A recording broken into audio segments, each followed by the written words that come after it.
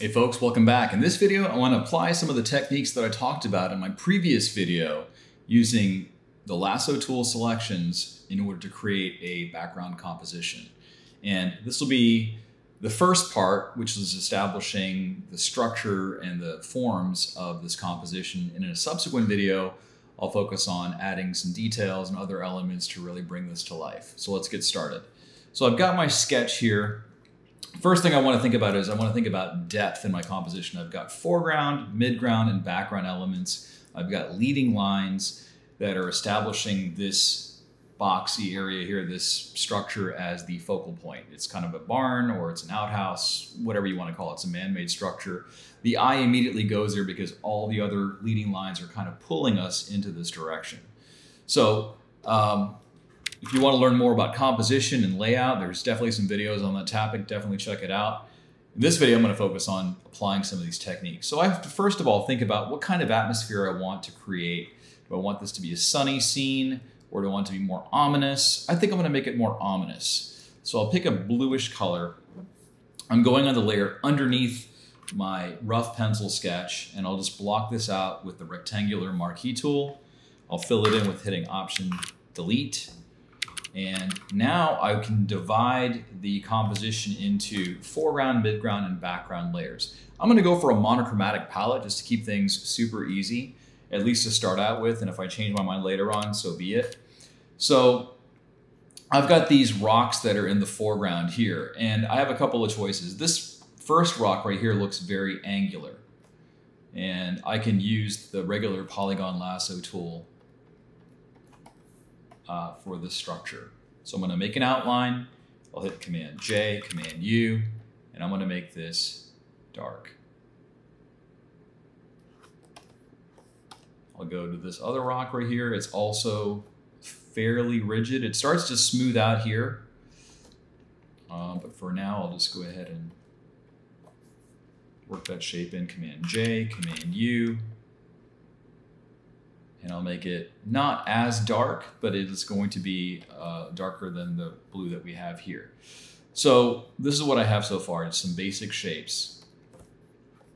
And this tree trunk here, as I mentioned in my previous video, that's an organic structure. Let's go ahead and create that shape, hold down the shift key to add to our selection. Command J, Command U. Let's make that a little bit lighter. And monochromatic palettes are the easiest palettes to work with when you're learning how to work with color. You really can't mess it up uh, as much as you could if you picked every color in the rainbow. So I've got the bush here, again using the lasso tool, Command J, Command U. Uh, let's make that a little bit darker. And then we've got another tree trunk here. J, Command U.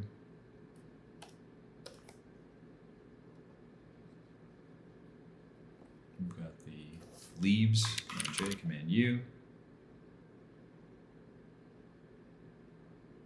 I'll make that light. Again, I can always tweak these colors. I've got some evergreens.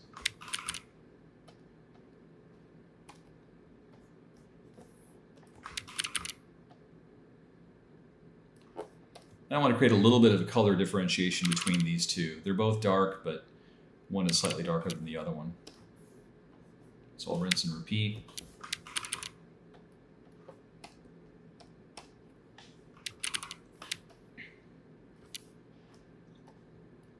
And the sign is really what's going to pull us in when we first look at this composition because our eyes are drawn to letters, right?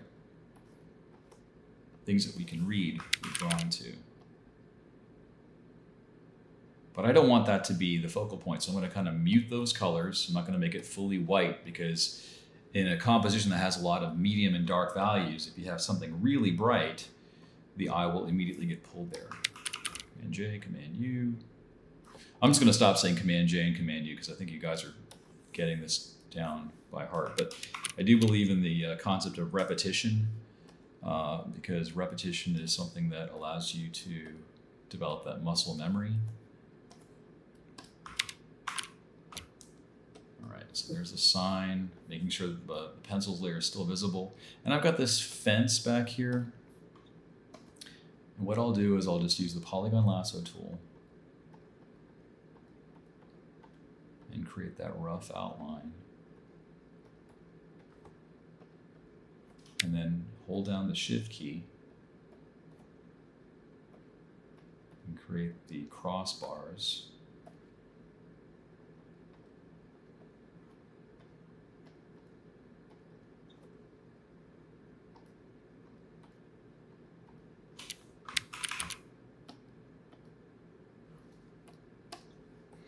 Every object that I'm creating is going to be on its own layer. I'll switch by hitting the Shift L key to move back to the organic lasso tool or the freeform lasso tool. Command J, Command U. I'll move that layer on top of the fence layer.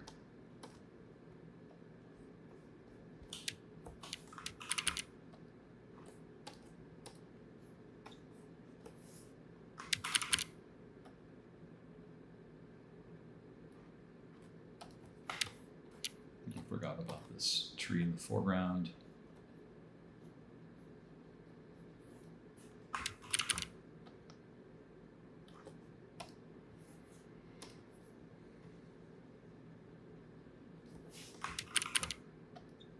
So by having things on multiple layers, it makes it just easier to move things uh, around. So this uh, outhouse, or whatever you want to call it, that is going to be Polygon Lasso tool. Why? Because it's got hard edges. I will make this the lightest element. Why? Because that's where I want the viewer's eyes to go to.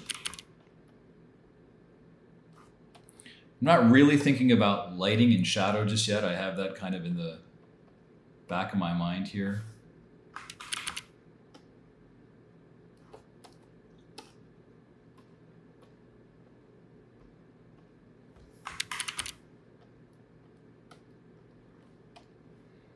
Okay, and then there's a few other elements here. I'll just quickly mark those in. I think I've got most of the stuff in now. Okay, so we've got the basic shapes. Let's go ahead and turn off our pencils layer and see what we're working with. So you can start to see uh, we've got, you know, a lot of shapes. It's still looking very flat we haven't done anything to kind of give any dimension or texture or form to any of these objects that are here. It's just a very flat, dimensionless thing. And you know, there's nothing wrong with this aesthetic. It's just that uh, we could we could really make it so much more than what we see right here. So let's start off by looking at our foreground element here. So we've got our foreground element. We've got some rocks. So I've got this on its own layer. I'll come back in with my regular lasso tool uh, we're going to create a little path. Um, I think I had that in my sketch. Let me turn that layer back on. Yeah, it's like something like that. This path cut at dead ends. Command J, Command U. I'm going to hold down the Shift key to create some of that dirt, like so. And then we've got all these rocks.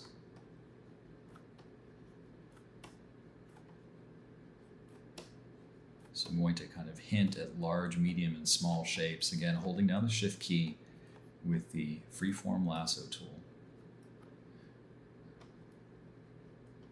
If you haven't already watched the previous video where I talk about these techniques in a little bit more depth, go ahead and watch it. I think it'll help you out. So we've got this. Now, you can also come back in with your brush tool, which I'm going to do here. Throw in some dots and other doodads. This is my square brush tool. I've got a video where I talk about how do you make your own brushes. Definitely give that one a look-see. There's nothing wrong with buying brushes, but I think there's a lot of satisfaction in making one's own brushes. So do check that out. So I've got these rocks here.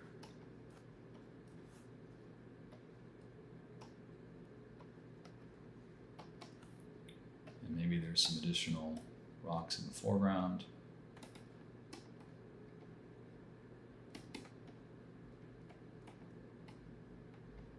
It just gives it some character, some visual interest.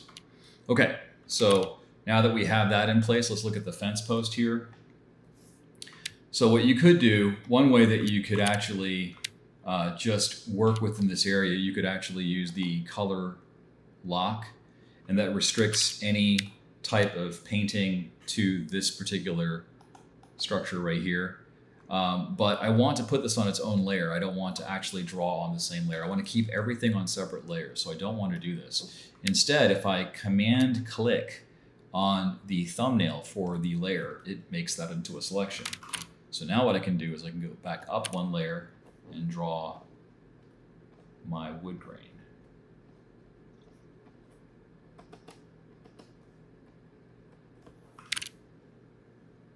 And then I can come back in. I want to put some other rocks kind of overlapping this. So make a new layer, move it up top, make that a little bit darker. Okay, so we've got this structure in place. Now we've got these bushes. So if I wanted to work on a specific layer, and I'm not sure which layer this is currently on, I can always go back to my move tool and I can right click and it tells me the layers that are underneath my cursor. So in this case, what I want to do is I want to create a little bit more contrast between the bush and the fence and the evergreen in the background. So I'm going to make this a little bit lighter. From this point, I can use the freeform lasso tool, make some simple shapes,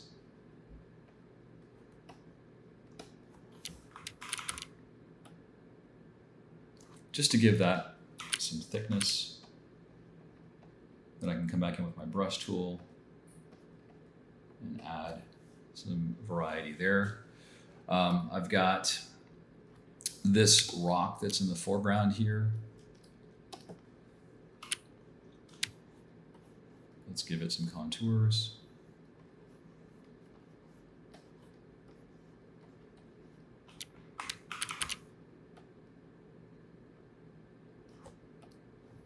Let's come in with our brush.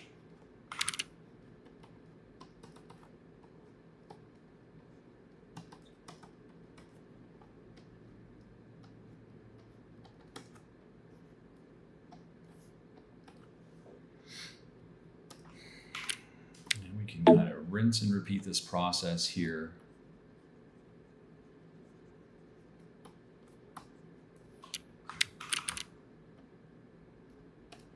what that's what this is doing is this is actually giving these flat shapes this illusion that it actually has some form. When you mix light and dark values together, the eye tends to think of it as a uh, something that has some dimension and form. Okay, now what about the uh, tree trunks? Same thing. I can hit the uh, you know command key, select the, the thumbnail, and I'll go in with a darker value.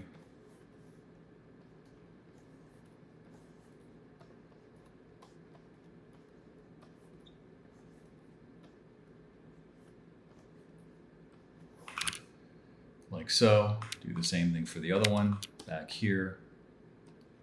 Maybe I'll make that a little bit lighter.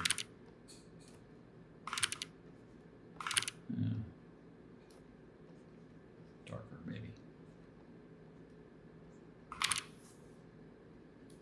And now let's take care of the, uh, the canopy of this tree. So I'm going to assume here that the bottommost part that's inside the um, canopy is going to be the darkest.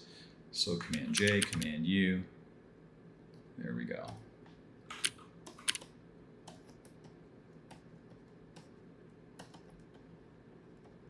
And I'll just kind of allude to the idea that there are some leaves here like so. can probably make that a little bit darker. Do the same thing with this tree in the front. doing all this stuff in real time too, so you can see how fast this technique can be implemented. Once you have the basics down, uh, you can really go to town with it. Command J, Command U. Not to mention, I think it's really fun. I think this particular uh, way of working for me just brings me a lot of joy. It's very, very relaxing.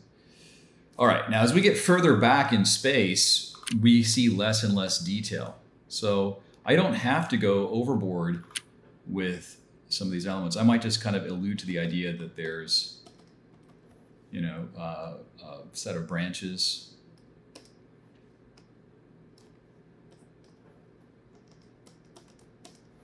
But I don't need to necessarily go into a lot of detail. Uh, now the outhouse, let's see, first of all, let me go to that layer. I'll make this just a little bit lighter. Command click on it. Zoom in. Go with the darker value. I'm going to go ahead and create some shingles.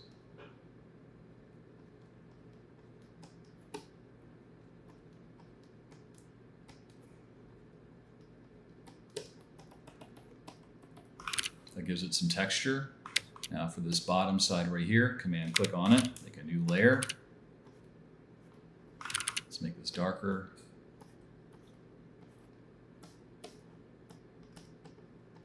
This kind of style works best when you're dealing with asymmetrical shapes. If you're dealing with very parallel lines, um, it starts to look a little bit odd. If you really look back and study some of the cartoons that use this particular technique, uh, and I need to fill this gap in real quick, um, you'll see that there's a lot of asymmetricality, and that's just part of that aesthetic. It just, you know, um, lends itself to that pretty well. Command J, Command U. And then from here, if I want to add some decorative elements,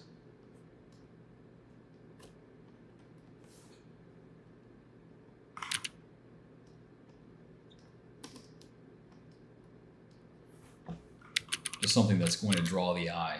If there's a lot of simple shapes, the eye gets drawn to something that's complex.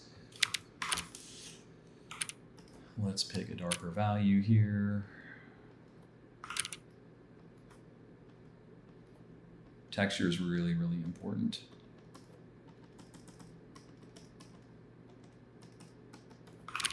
And what I want to do is for the opening here, I want to make that really dark. Just so that it stands apart from the fence post. All right, for the fence post, let's take a look and see what we have. It's layer 14. In this case, I'm going to use the freeform lasso tool, quickly draw the horizontal areas holding down the shift key.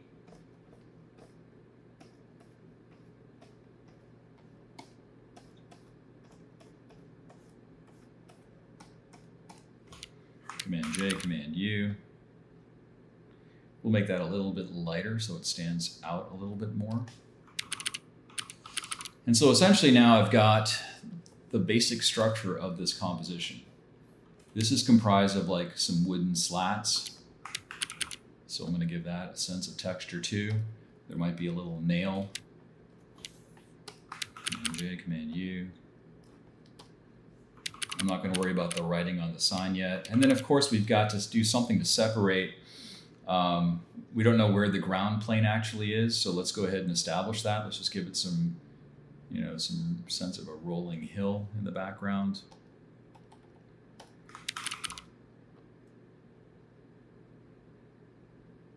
There we go.